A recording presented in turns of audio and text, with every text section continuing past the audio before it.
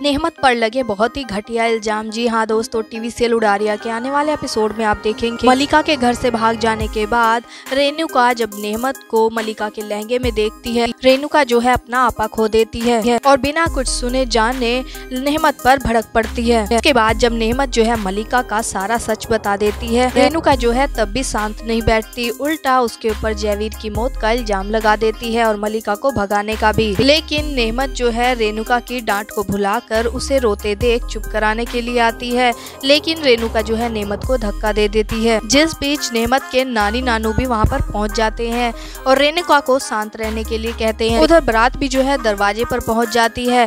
अद्वित को जो है मलिका ने कॉल करने के लिए कहा था कि जब वो बरात लेकर आ जाए तो उसे कॉल करे। अद्वित जो है मलिका को कॉल करने की कोशिश करता है लेकिन उसका फ़ोन स्विच ऑफ़ आता है। अद्वित जो है मलिका के बारे में नेहमत से पूछता है। नेहमत को परेशान देख अद्वित को भी थोड़ा डाउट हो जाता है। उधर नाज भी जो है मलिका की ज़िंदगी में आग लगाकर काफ़ी इंजॉय करती हुई नज़र आ रही है। तो उधर जैस्मिन की भी मुसीबतें बढ़ गई है। उसको इस बात की चिंता हो रही है अगर मलिका यहाँ नहीं आई तो वो नाज की शादी अद्वित से कैसे करा पाएगी। साथ ही जैस्मिन ने ये भी कहा है कि जब तक मलिका यहाँ नहीं आ जाती, मैं इस शादी को लेट करती रहूँगी। साथ ही नाच जो है एक और बड़ा धमाका करने वाली है, जिसमें मलिका सहित सभी परिवार वालों को वो फ़ोटोज़ और वीडियो सेंड करने वाली है, जिसमें नेहमत और अद्वित एक साथ दिखे हैं। तो अब देखना ये होगा, इतना सब कुछ हो जाने के बाद क्या शादियाँ हो पाएँगी। साथ ही नेहमत और मलिका के रिश्ते में भी दरार आ जाएगी। दोस्तों, जानकारी पसंद आई हो तो वीडियो को लाइक करें, शेयर करें, चैनल को सब्सक्राइब करना ना भूले। Thank you